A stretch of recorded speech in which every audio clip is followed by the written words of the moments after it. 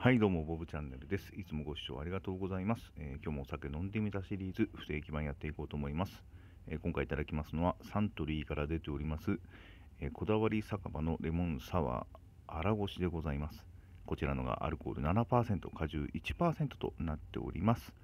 あの、こだわり酒場のシリーズですね。はい、あの、あれのレモンサワーですが、あの、定番のやつに、荒越しの、まあ、果汁を足したみたいな感じですね。はい。えー飲んでみてですね、えー、荒越しがいまいち 伝わっているのかなって感じですね。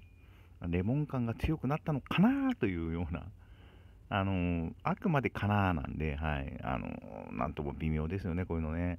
うーん、まあ、よく飲んでいれば、さらにわからなくなるんだと思います。はい。まあ、微妙ですね。ご視聴ありがとうございます。